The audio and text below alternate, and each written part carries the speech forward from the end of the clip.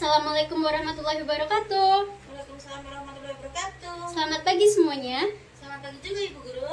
Untuk pertemuan hari ini, Ibu akan menjelaskan bagaimana cara menganalisis pesan dari buku fiksi dan mengaitkannya dengan situasi terkini. Sebelumnya, apakah ada yang sudah tahu tentang apa itu fiksi? Belum.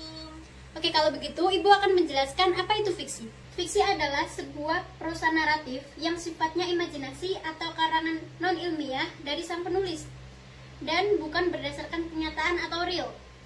Contoh fiksi ada novel, roman, cerpen, dongeng, dan lain-lain.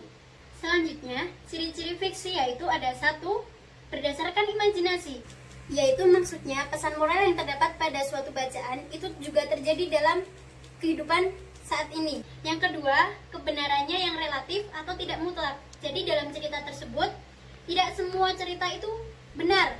Ada yang ada beberapa karangan yang hanya dikarang oleh penulis atau dilebih-lebihkan. Yang ketiga, menggunakan bahasa bersifat konotatif atau bukan sebenarnya. Yang keempat, tidak memiliki sistematika yang baku. Kelima, menyasar emosi atau perasaan sang pembaca. Dan yang terakhir, terdapat pesan moral atau amanat. Nah, nomor 6 ini adalah poin dari apa yang akan kita bahas hari ini. Pesan moral atau yang biasanya kita sebut dengan amanat disampaikan bertujuan agar sang pembaca melakukan kebaikan yang sama dengan bacaan atau karangan yang kita baca. Pesan moral atau amanat biasanya terdapat pada akhir cerita atau karangan yang disampaikan secara tersirat ataupun tersurat, sehingga pembaca harus membaca dengan runtut dan benar.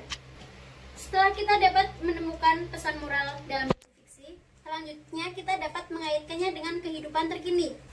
Seperti dalam dongeng Kancil Mencuri Ketimun, terdapat pesan moral yang berbunyi bahwa kita tidak boleh mengambil barang yang bukan milik kita atau barang yang bukan hak kita.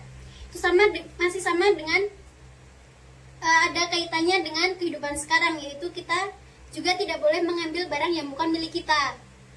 Nah, seperti itu. Apakah ada yang ingin ditanyakan? Tidak. Oke, kalau begitu pertemuan hari ini kita sudahi. Selam Oke.